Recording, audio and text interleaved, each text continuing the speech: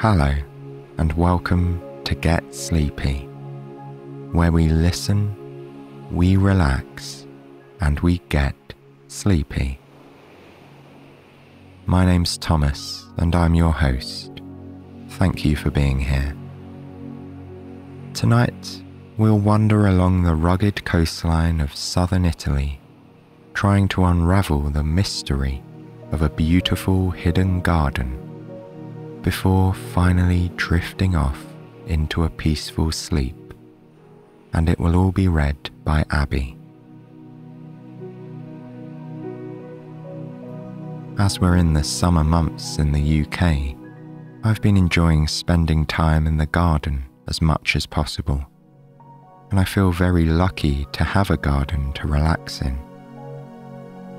Though the one in tonight's story may be quite different to that of my own, and maybe to yours too, the tranquility and peace of sitting in the sun on a summer's afternoon is one of the best and easiest ways to find calm in the middle of a busy day. So, picture yourself now sitting or laying in a garden or any tranquil outdoor space. Your breathing is naturally gentle and steady and with each rise of the chest and stomach, you feel the sun's warmth moving across your torso. The nourishing sensation seems to calm and cleanse you at your core. Not only is it warming your skin, but you can sense its energy within too. just rest here for a moment with your eyes closed, enjoying the pleasant feeling of the sun, the charming sounds of birds in the trees, and a light breeze flowing over your skin.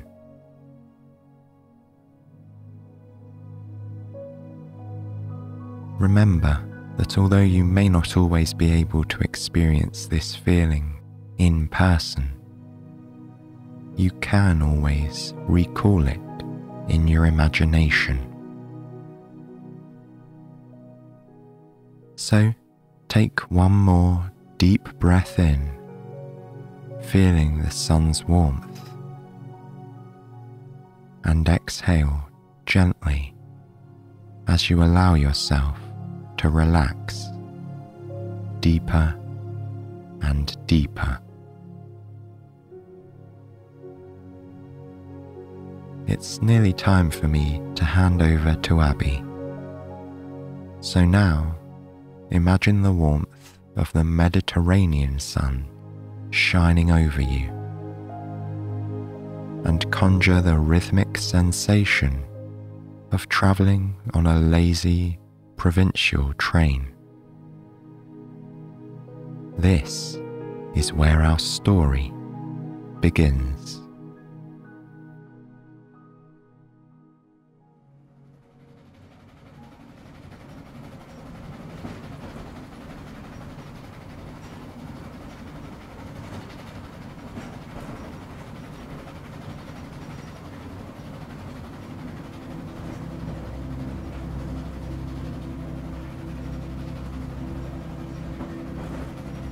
It's a summer afternoon, and you're sitting in a train carriage travelling from the Sicilian capital of Palermo towards a small coastal town.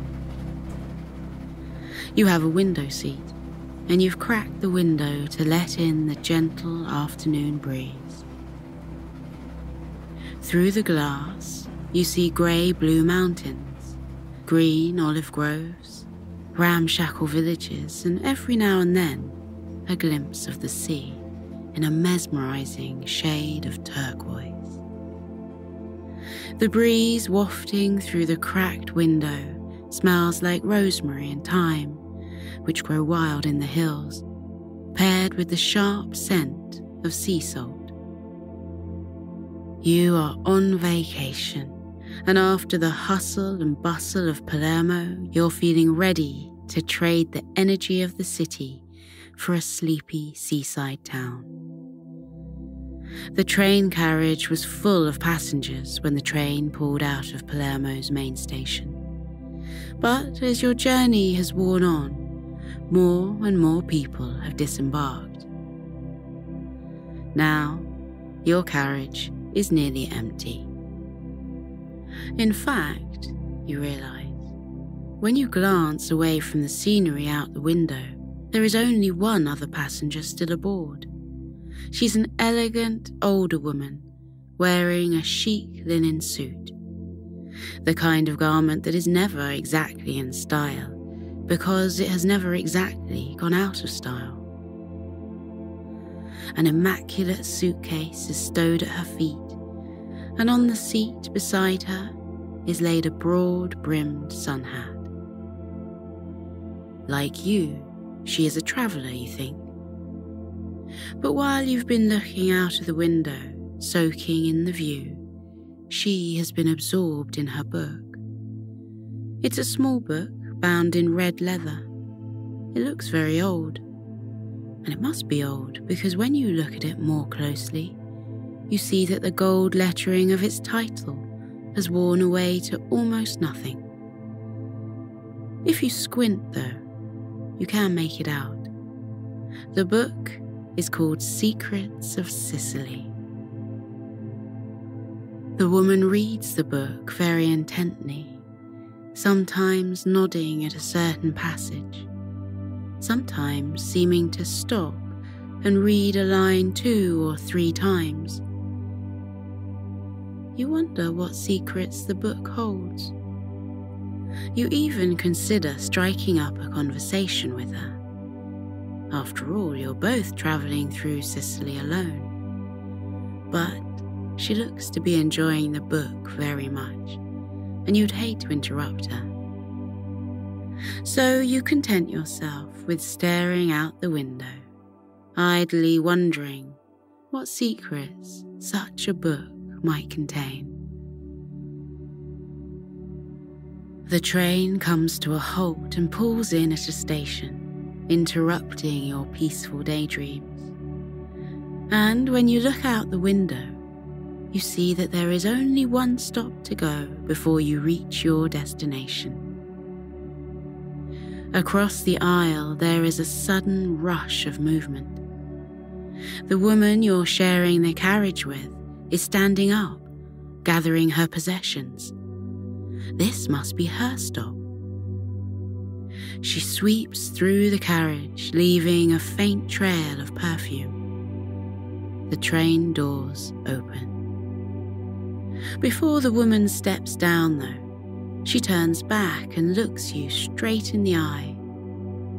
A smile pulls at the edge of her mouth. Then she steps onto the platform. The doors close. The train pulls away from the station and she is gone, taking her suitcase and sun hat with her. But she's left something behind. The red leather book she was reading lies on her seat. You remember the deliberate way she looked at you before she left, and you feel sure that this wasn't accidental. You take the book.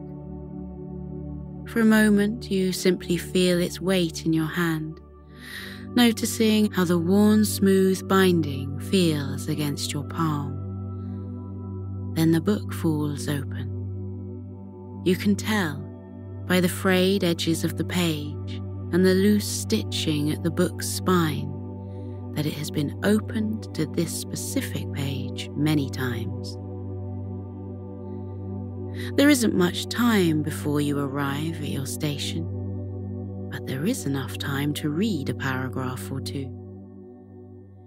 You lean over the book and begin to read. This passage describes a lush, beautiful garden locked in an old medieval courtyard in the depths of a Sicilian village which remains unnamed. The author of Secrets of Sicily describes in great detail all the flowers and herbs that grow in the garden. Their description lingers on the marble statues that inhabit the garden's shaded groves and sweet smelling corners, on the lichen stained, sun warmed stone benches where visitors can rest, on the cool blue depths of the grotto at the garden's edge but they never reveal the garden's location. Instead, they leave you with the cryptic instruction that the garden is impossible to find for those who are not meant to find it. On the other hand, if the garden wants you to find it, then you will.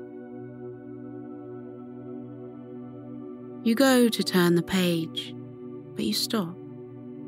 Instead, you read the passage about the garden again and again. You start to picture it in your mind's eye, imagining how cool and green and fragrant it must be there. You wish you could see it for yourself. Someday, perhaps. The train comes to a stop pulling you out of your daydream. You gather your bags and the book and alight into the balmy Sicilian evening. The town you have chosen to stay in is small but lively. On your first night here, you wander around, pleased. There is a beach where you can swim, a piazza where the tables are filled with locals eating and drinking and the faded stone buildings of the historic centre are brimming with antique shops and galleries. You are glad you decided to stop here. Over the next few days, you fall into a pleasant holiday rhythm. In the mornings, you swim in the sun warmed ocean, then spread out on the sandy beach to dry with your eyes closed, sunlight dancing over your face, listening to the crashing of waves and the faint puttering of fishing boats in the distance. In the afternoons, you wander the town's markets, admiring the colour and gloss of the local fruit and vegetables and stroll through its narrow medieval streets, stopping here and there where a shop's window display or a painting in a gallery catches your eye. In the evenings, you linger over fresh pasta at a restaurant on the piazza that soon becomes your favourite. You like to watch the sky slowly changing colours as the sun sets, while local children play games of football in the centre of the piazza, and young lovers and old couples stroll hand in hand around the piazza's edge. At night, you return to your hotel on your way, you smile at the old man who lives in the house next door. He seems to always be in his garden, polishing his cherry red Vespa, and whenever he sees you, he greets you in Italian.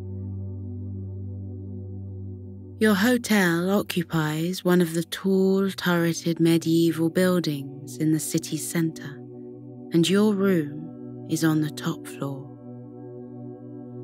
So at night, when you throw open the heavy shutters and look through the window, you can see the evening sky dusted with stars, the hilly coastline that surrounds this town, and here and there, the dark outlines of other nearby villages. When you look at the villages in the hills, you can't help but wonder if one of them contains the secret garden you read about. You remember the words you read in the book. If you are meant to find the garden, you will. One morning, you make your way down to the beach. The old man who lives next door greets you with his usual expression. But then something catches his eye. He is looking intently at your beach bag and at the red leather cover of your book, Secrets of Sicily, which peeks over the bag's rim. Then he turns back to you and smiles. He asks how you are enjoying your holiday. You tell him you're having a wonderful time. And then, to keep the conversation going, you say how much you admire his Vespa. This seems to make him very happy. He tells you he's too old to ride it very much anymore, but he still polishes it every day. While he polishes, he likes to remember all the adventures he and the Vespa had together. He tells you of visiting ruined Roman temples high in the hills and swimming coves where dolphins splash in clear waters, of sleepy villages, and of beautiful gardens. He pauses with a half smile on his lips and then he tosses you the Vespa keys. You should go exploring, he tells you. It would give him pleasure to think of his Vespa setting off on another adventure. You start to feel excited. You love the lazy, rhythmic days you have spent here, swimming in the ocean, lying on the sand. But now you start to feel drawn to new horizons. A day roaming the countryside on the back of a Vespa might be just what you need. Before you set off, you buy a map and sit at a table outside your favourite cafe on the piazza. While you sip your morning coffee, you mark out a route that will take you up into the hills, then back along the coast. On a whim, you pull out secrets of Sicily and ruffle the pages until you find the description of the garden. The author doesn't give the name of the village where this magical garden can be found. But when you read closely, you see that there are some clues to its whereabouts. The author describes the brightly coloured red and yellow flags that festoon the town's main streets. They also describe the town's coat of arms two mermaids circled by a wreath of herbs and wildflowers. Lastly, they write about a sweet delicacy which can only be found in this specific village an almond biscuit baked in the shape of a mermaid's tail. At last, you're ready to leave. You hop astride the Vespa and turn the key in the ignition. The engine growls to life, and soon you are speeding smoothly along the road that leads out of the town and winds up into the hills. A light breeze plays across your face. It carries the scent of the rosemary and thyme that grow wild in the region, and the salt of the ocean. As you ride higher and higher, the view becomes more and more breathtaking. When you reach a rocky outcropping high in the hills, you come to a stop and step off the Vespa. This is the perfect place to soak up the view. To either side of you, the hills stretch out in shades of green and grey. Below, the ocean unrolls like a length of blue silk. Looking around you, you can't help but feel a sense of ease. You close your eyes. You feel your muscles loosening and your breath growing deeper. You are conscious of the earth under your feet grounding you and of the playful breeze that dances around you. The breeze meets with the wind coming off the ocean and grows stronger. A rustling noise brings you back to yourself, and you open your eyes in time to see the wind lifting the map with your carefully marked route out of your bag and carrying it away. You can't help but laugh as you watch the white paper float off into the blue sky. Now you'll have to leave your route to chance or to luck. You get back on the Vespa and keep riding up into the hills when something down near the coast catches your eye and makes your heart skip. A flap of red and yellow. You remember the description of the garden in the book. It was found in a village where red and yellow flags are strung between the streets. On impulse, you turn and start driving down to where you see the flags waving. You reach a small medieval town. The piazza here is taken up with an ornate marble fountain. A couple sit, having an animated conversation on the fountain's rim. On impulse, you approach them and ask them about the garden. They haven't heard of it. When they notice your disappointment, you explain that you've read about a village where red and yellow flags fly in the streets, and a wonderful garden can be found behind a stone wall. They laugh. All the villages in this area fly red and yellow flags. They are the colours of the local castle they draw directions to the castle on the back of a napkin. You fold your napkin carefully into your pocket and start back on your journey.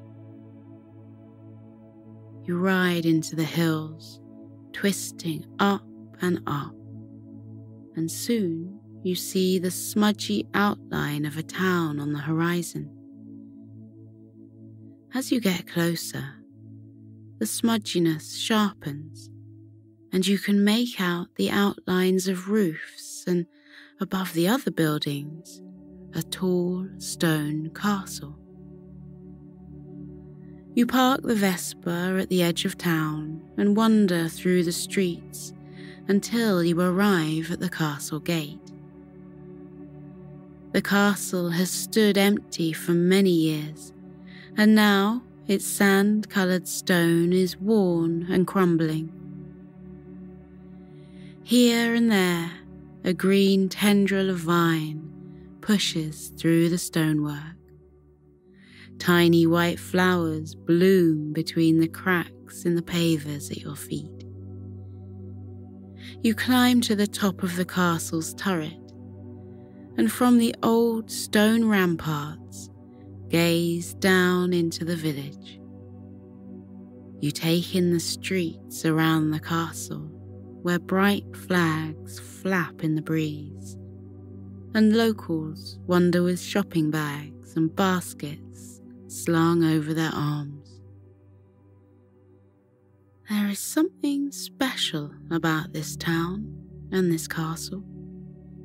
You would never have come here if your map hadn't flown away in the wind.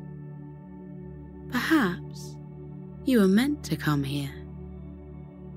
Perhaps this town is where you will find the hidden garden that has tugged at the corner of all your daydreams ever since you first read about it. You feel a prickle of excitement. You make your way back down into the town, and after you stopped for a refreshing scoop of gelato, you begin to explore. Secrets of Sicily described the entrance to the hidden garden as a heavy wooden door with an elaborate silver lock at its centre. The door is all but invisible, concealed in an old stone wall that is completely overgrown with wisteria. But though you search and search, your heart lifting every time you turn into a new street with the hope that this street might be the street, you don't find any wisteria laden wall or any heavy wooden door. It's not such a disappointment, though, for this town is filled with hidden treasures. In a tiny piazza behind the castle, you find a fountain where water splashes over frolicking marble fish and dolphins. Nearby, in an old church that smells of clean plaster and pungent incense, you see that the walls are covered with brightly coloured frescoes. The streets are lined with old fashioned boutiques selling lace and linens, old books and maps, or brightly painted toys. One shop looks especially enticing to you. It's an antique shop, crowded with treasures. Inside, it is cool and dark, but the tables and shelves are laid with glittering brooches and combs and fans with elegantly carved handles. You stop to admire an ornate mantel clock and a vivid oil painting in a heavy gold leaf frame. You even spy an old fashioned pair of opera glasses in among all the other objects.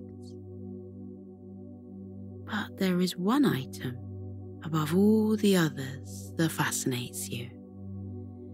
It is a beautiful silver jewelry box, carved all over with intertwining leaves, flowers, and animals.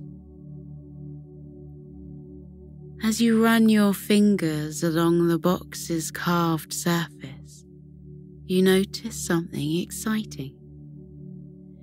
In the center of the box's lid you see two mermaids swimming in a circle, wreathed in a garland of carved wildflowers. You go to the counter and buy the box. The shop owner carefully writes your purchase down in an old accounts book, and as he does so, you ask him about the emblem carved into its lid. It's the crest of a nearby village, he explains. If you keep travelling down along the road that leads out of town and towards the ocean, you'll soon come across it. Not many tourists visit this particular town, he tells you, but he has a feeling you will find it worthwhile to stop there for an hour or two the shop owner is right. When you arrive in this third town, you are immediately enchanted. It's even more magical than the last two villages you visited. It is set into a cliff overlooking the ocean, and everywhere you walk, You can hear the sounds of gentle lapping waves and the cries of fishermen hauling in their catch. The sky is somehow even bluer here. The flapping red and yellow flags more vivid, and the smells of sea salt and wild rosemary that carry on the breeze are even sharper in your nostrils. As you wander, you come across a bustling market where stall holders sell fresh produce and flowers, a charming old puppet theatre, a street performer who strums a guitar while a crowd gathers round, swaying and dancing. In fact, it seems every time you turn a corner, you stumble onto another picturesque scene. But the one thing you're looking for is nowhere to be found. There is no wisteria covered wall, no heavy wooden door, no ornate silver lock, no hidden garden. What's more, every time you ask a passing local where a garden might be found, they simply shake their heads. None of them knows of any garden. Though more than one has a twinkle in their eye when they say this. You have walked every street of the town twice over before you finally decide to stop hunting for the garden. The afternoon sun is sinking, turning the pavers of the piazza the colour of rich honey. You sit at an empty table in a cafe on the piazza and order a plate of the local delicacy, mermaid tail biscuits. They are sweet, but not too sweet and they have a texture somewhere between crumbly and melty. They taste faintly of almond with one mouthful, and faintly of cinnamon with the next. You can't remember the last time you tasted anything so delicious.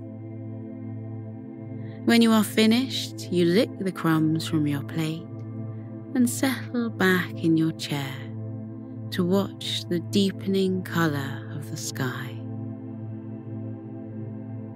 You listen to the wash of the sea, the distant calling of birds, the soft murmurs and rustles of the cafe's other customers as they speak to one another in low voices or slowly leaf through the day's newspapers. in the corner of your eye, you see the red leather spine of Secrets of Sicily poking out of your bag. Beside it, the silver jewelry box gleams. You sigh, but it is more a sigh of contentment than disappointment. Perhaps you weren't meant to find the hidden garden after all. Perhaps you were meant to have the adventure of looking for the garden rather than stumbling upon the garden itself. After all, you've had a wonderful day, riding the Vespa on mountain roads with the wind all around you and a view of the ocean stumbling on quaint villages filled with ancient stone architecture and lively street life, unearthing treasures in antique shops and sampling Sicilian delicacies that you might otherwise never have tried.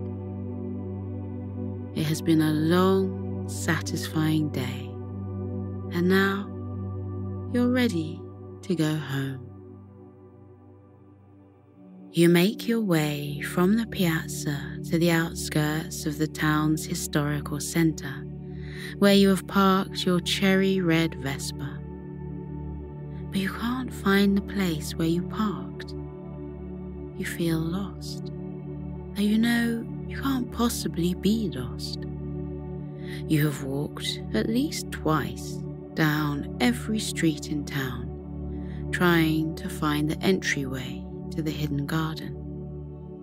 And yet, these streets feel new and different. The sun is beginning to set, turning the sky to dusky hues and lengthening the shadows on the cobbled pavements. Perhaps it's a trick of the deepening light that is making you feel like you've stumbled into a new, unfamiliar part of this small town. As the sun sinks, it lights up one alleyway with particular brightness, throwing pink and gold rays onto the buildings on either side of its narrow path. You look down the length of the alley. You're convinced you haven't seen it before. In fact, you're almost certain it wasn't there the last time you traversed the town. A whole street can't spring up out of nowhere, you tell yourself. And yet you have the sense this is precisely what has just happened. At the end of the street, glowing under the late afternoon sun, you catch a glimpse of purple blossom your breath catches and your heart skips. Wisteria, blooming in soft shades of lilac and mauve, covers a crumbling stone wall at the end of the alleyway. You walk down the alley and stop in front of the wisteria. You pause for a moment to breathe in its sweet, powdery scent. Then you start to search for a door. It doesn't take you long to find the heavy wooden doorway concealed by wisteria blossom. You push. The door is shut. You push harder, but the door doesn't budge. It is locked. There is an ornate silver lock set into the center of the door, just as the book said there would be. You put your eye to the keyhole. On the other side of the door, you can hear the gentle rustling of leaves and grass moving in time with the breeze and the burbling of running water. If only the door would open. You pull away from the keyhole and sit down on the cobbled ground. This sudden movement causes something to rattle in your bag. Where is the rattling noise coming from, you wonder? Your hand brushes against the silver jewellery box and you pull it out. You open it up. It is beautifully lined with soft blue velvet, but it is completely empty. You shake the box. There is that rattling noise again. You open the box once more and run your hand across the lining. There is a slit in the velvet, and underneath the velvet, what feels like a small latch. You undo the latch, and a secret compartment in the lid of the box falls open. Inside is a silver key, which tumbles out onto your palm. Somehow, from the moment you feel the weight of it in your hand, you know that this key will fit the lock in the door perfectly. And it does. You turn the key, open the door, and step through the curtain of wisteria into the most beautiful garden you have ever seen.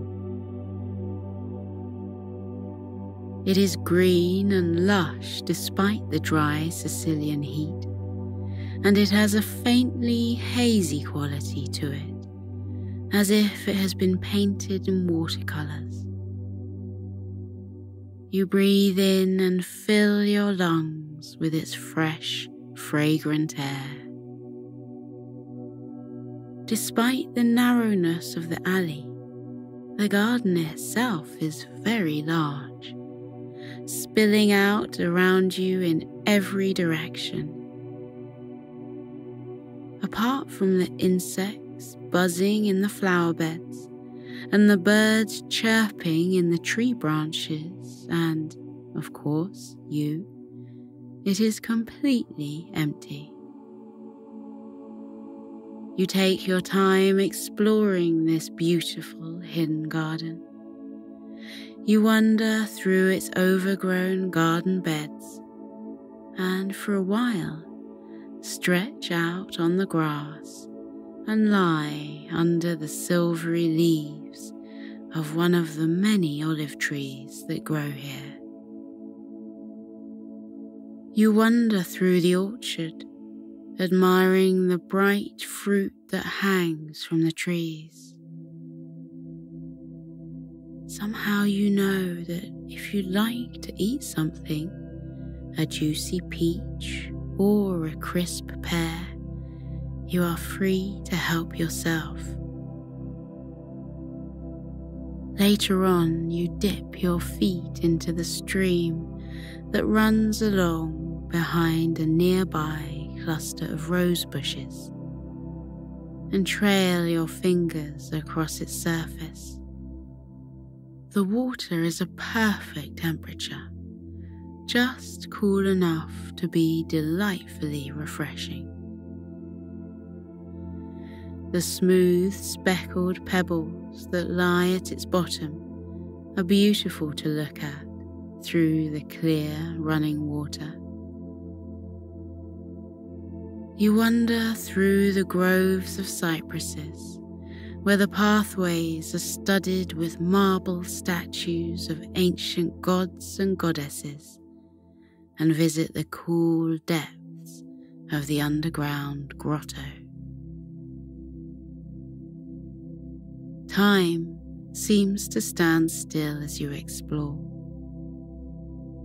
The garden is yours to wander through however you want as you tune into the sense of deep peace and calm that pervades this magical, secret place.